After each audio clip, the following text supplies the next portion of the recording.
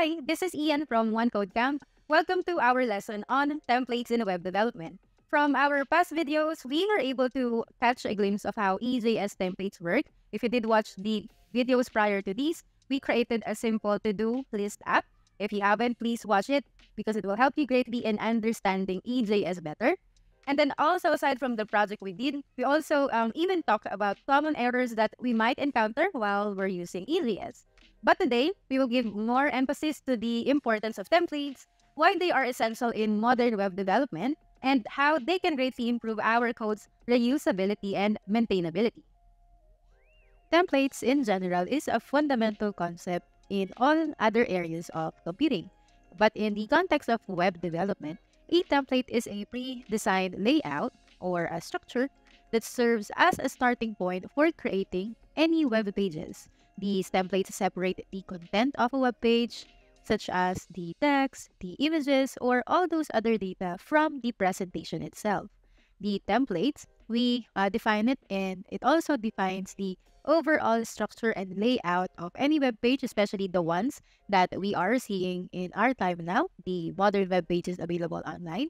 They help us determine where different elements, just like the headers, the navigation bars, the content sections, and what else? Footers. So it determines where all those different elements should be placed at.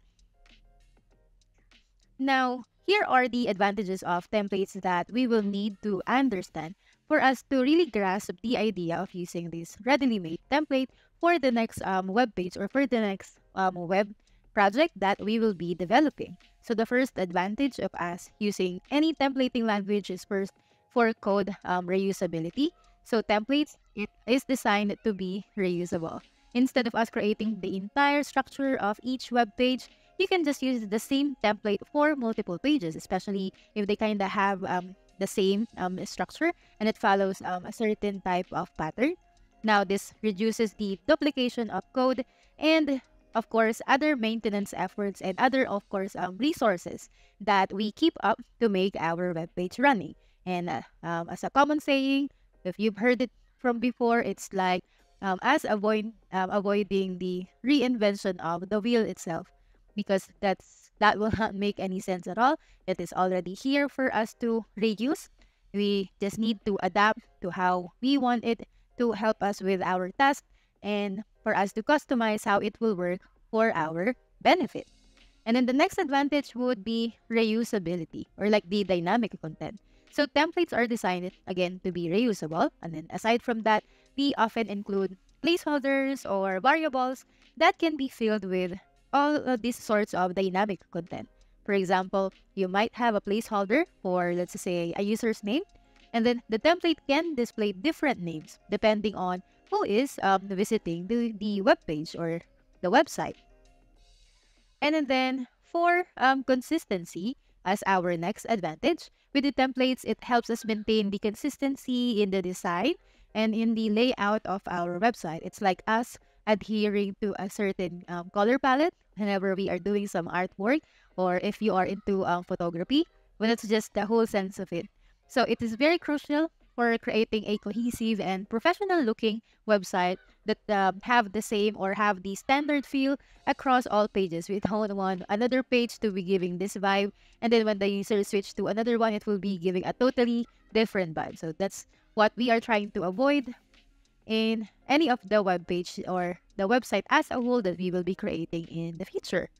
And then also, of course, templates offers us the advantage of maintainability. So with templates, we promote the separation of concerns by separating the HTML structure or what handles the view from the logic that generates or manipulates the content, which refers to controllers. Now, this separation enhances code organization. And of course, like what we're discussing, its maintainability. And then lastly, it will help us with improved collaboration a lot. I cannot um, highlight this enough, but with the template, it allows um, other teammates for the project that we are building, like um, our designers or maybe other developers that we're working with to work on the project collaboratively. Designers can focus on creating the, of course, the visual layout of our project, while as the developers can integrate dynamic content and functionality into the template itself. So, in general, templates are widely used in various web development no matter what frameworks or what the content uh, management systems or most commonly known as CMS is being used to somehow streamline the process of creating web pages. It provides a structured approach to building websites and it makes it easier to manage and scale any type of um, web projects. And then moving on to other or to the available templating languages that we can use. So aside from EJS, we have the most commonly used ones like the handlebars. And then we also have the mustache. But of course, we will not be uh, discussing any of these two. We will be focusing mainly on EJS for this our tutorial. All right. Now that we have a deeper understanding of what really are about, we can now say that we are convinced to use Say So for myself. So now let us see um, how it works in action. Let me just close this window here. And then on our desktop, um, we will be creating a folder for our sample project that we will be creating to demonstrate how EJS templating uh, works. So here, once we have the project located in our desktop, let's also open our Visual Studio Code. Once this is up, let us locate the folder that we created from our desktop, open folder, and then this is the folder we created. Hit on select folder, and then let's just close these windows here. Okay. Now, the first thing we want to do is to install the um, dependencies or everything that we need to create first a node um, project or an, a node directory. The way we do it is we will need to open our uh, terminal. You can open up open that up using the buttons up here that says terminal and then just go push new terminal or you can just um, also use the keyboard shortcuts control shift backtick just like what's indicated in here so let's do that all right once this is up once your terminal is up um, I want you to make sure that it is pointing at the exact or the correct location of the folder we created our EJS folder and then once this is now here let us initialize node by saying npm init dash y. All right. And then once we have this file in here and inside our EJS folder that says package.json, we're now ready to start installing. So we will need now to run the command npm install. You can actually just say I whenever you're installing dependencies, but as as beginner as possible so he can better um, remember them for further use. So we are installing Express and then we can also install EJS at the same time. So hit on enter and let's just wait for that to load up. Now, once you see that a folder named node underscore modules has been in here, that means it has been able to successfully install the commands or the dependencies that we asked for it to install. So still inside our EJS, we are going to create what will serve, let's name it app.js. And then inside, again, we are still inside the EJS folder. We'll be now creating another folder this time. Then let's give it a name of views. Now inside this view folder, this is what's going to handle every templates, all of the EJS template that we will be using for the entire web page or for the entire project that we will be working inside this project directory. But of course, for demonstration purposes, um, we will be only um, creating a single page or a single file inside this views folder that let's name it maybe just index.ejs. So bear in mind that we will need to use the um, extension name .ejs for us to tell Node that we would like to use EJS as our templating language. Now that we were able to successfully create a very simple um, structure for this folder, um, let us now start putting our server code in our app.js file. So in every Node project, we always start um, coding or we always start declaring everything that we need in the server file, which is again we reference as this app.js, we're looking at our screen now. So first, what we're going to do up here on the very first line is to declare a variable and then we would like to call it express. We are now calling the express framework, the express.js framework into this node.js application. And then what's going to happen is we are assigning, let me just type it here first, express, and don't forget our semicolon. All right, so with this first line of code, it assigns the express constant variable to the express.js module. It allows us to use express.js functionality into our code. So now we'll be able to use the built-in methods and functions that express.js uh, provided to us. Next is we're going to declare another constant variable, which is, let's call it app. And then we wanted to say express and then semicolon. Now this line, we create an instance of the express application by calling this express function. This function in here. The app variable represents your express that JS application up here. And then this is what we are going to use to define the routes and all the other configuration settings that we will be implementing uh, later on in the later part of our project. And then for the third and last variable, we will be uh, defining our port. This is um, the port that we would like our project to be uh, visible at. Like, of course, we would want to see how the project looks like so far at um, some certain point of um, our coding. We will be um, using the extension of Visual Studio Code that is the live server extension. And this port that we are specifying in here is where we can specifically see our project. So we are uh, identifying it as port uh, 3000. All right, and then up in here, uh, we want to say app.set now, this is an express.js uh, configuration setting, the app.set. Type it in here, view engine. Now, it sets the view engine, this line or this uh, code in here, it sets the view engine to EJS.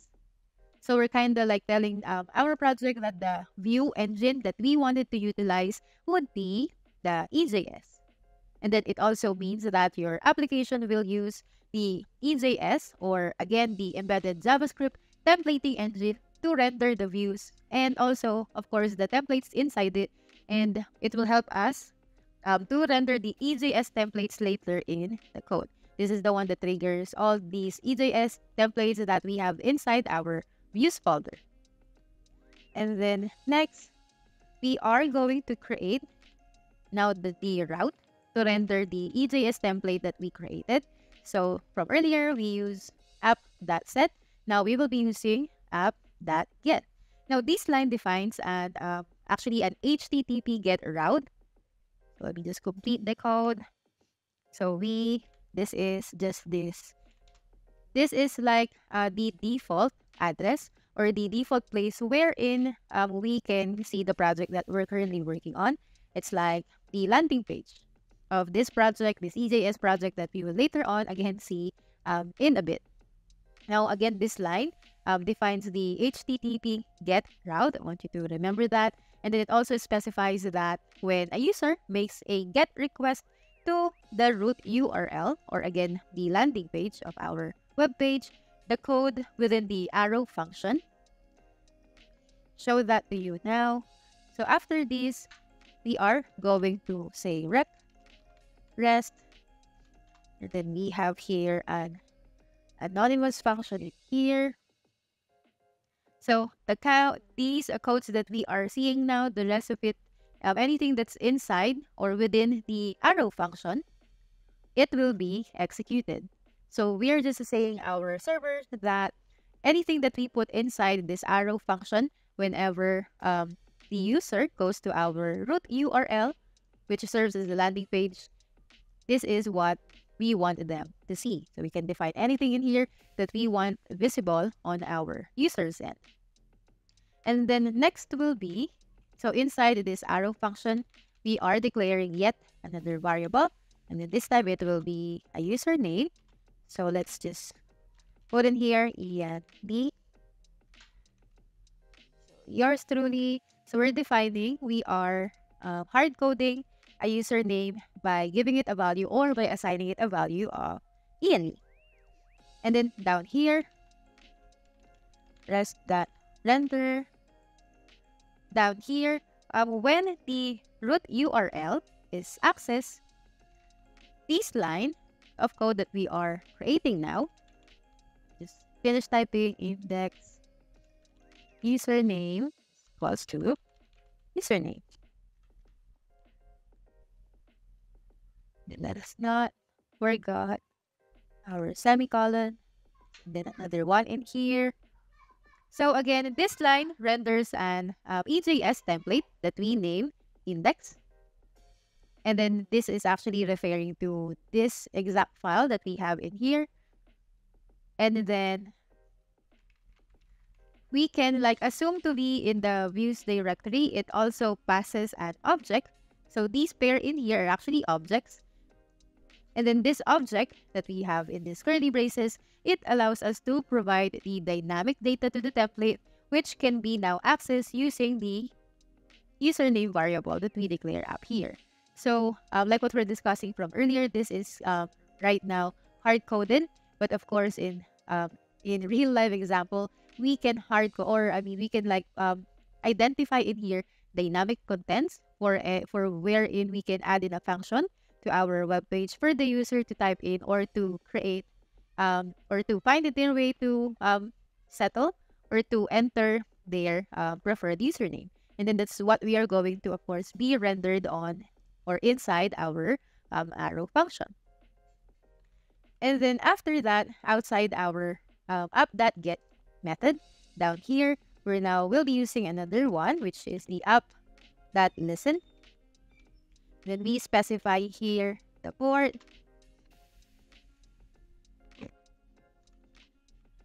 Then we are now creating yet another arrow function.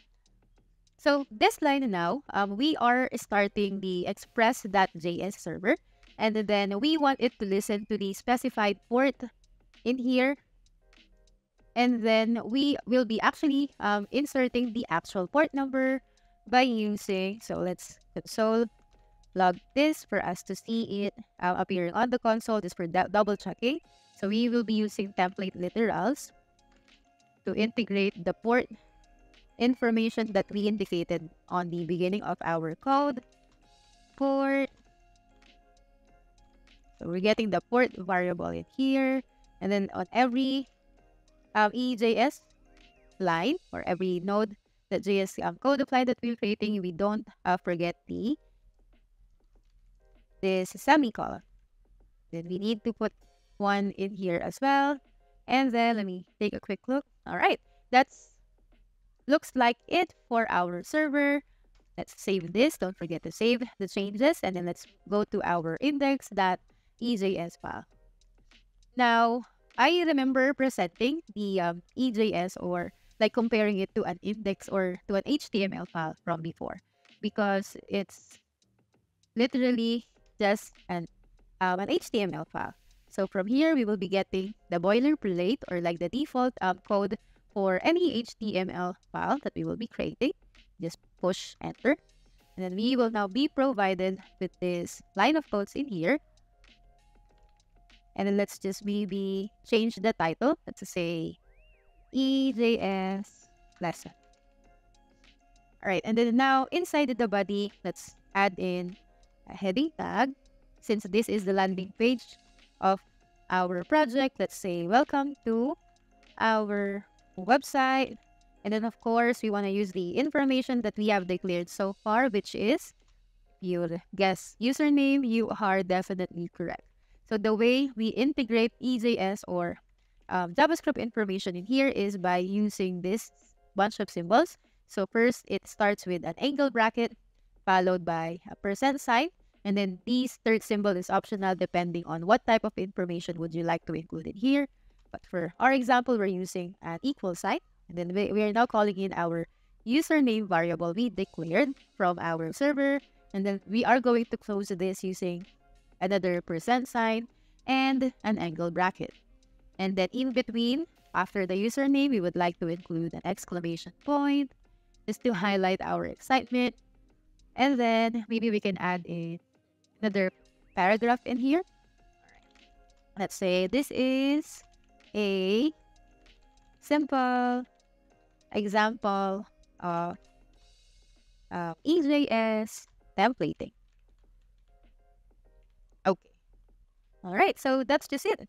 As you can see, it is it is exactly what an HTML file looks like, but using EJS, we can integrate and make our HTML file dynamic by using EJS templating language. So let's see how this looks like on our live server. Close this. On our um, terminal, we will need to activate or to trigger our server to be initiated first. So let's close this. Then the way we do it is we just type in node and then the file name of our server, which is again app.js, and then hit on enter. All right. Now, once it shows the exact um, string, group of string that we indicated in here, it means that it ran everything without errors and that it should be displaying as the web page with the information that we displayed here on our index.ejs template. So let us now push the Go Live extension. I do hope you already have that installed on your Visual Studio Code. If not, you can just go click on extensions. And then in here, just type in here live server. And then for me, you will see that um, it's already installed. But if you guys have not uh, done this yet, you should see a blue uh, button in here that says install, just like the ones from down here. Just push that and you should now have the live server integrated on your Visual Studio Code as well. So let's close this, go back to File Explorer. And then now let me just look for our code. So this is what it looks like. Let me just fix the screen so I can show you both. All right, so we identify or we specify port 3000. So once your live server is up, it should redirect you to port 3000. It should look exactly like this. Then push on enter and this is what we wanted to see. So you can see it um, displays the exact text that we have here and then also display display the username that we have here on our server, the Lee name that we have assigned as the value for the username variable, and then the rest of the text are displayed in here as well, which is a typo. We have a typographical error there. For any changes you will like need to run your server again, you can type in node.node space app.js again, or you can just on your keyboard press the arrow up button it'll provide you with the last command that you run. And then will if we refresh this, all right, no longer showing me the typographical error that I did. All right, so that concludes all the highlights of um, this video. So we again were able to introduce the concept of templates in web development. We've seen how important it is that we um, integrate um, using templating languages in the project that um, we are making, how it can enhance the code reusability, um, improve the maintainability of the codes, and then also to facilitate collaboration. For facilitating collaboration and for reusability, we actually was not able to have that demonstrated in here since we have an initial very simple um, project that we have shown. But on the next video, we are going to dive deeper into creating and using more EJS templates so that I can show you um, how we can maximize that advantage of reusability. We'll also uh, deep, uh, dig deeper on how it can help us to collaborate